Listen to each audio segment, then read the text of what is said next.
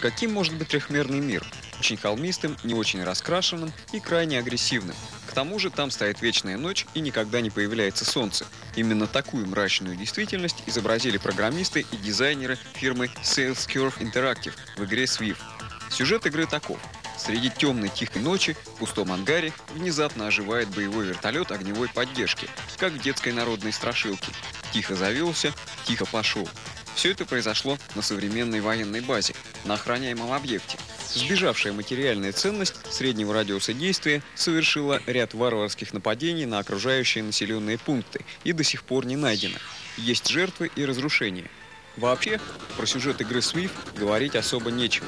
Да и какой может быть сюжет в жизни профессионального военного? Выслужить приказ, хмуро глянуть на карту, козырнуть молодцевато и отправиться за славой и победой.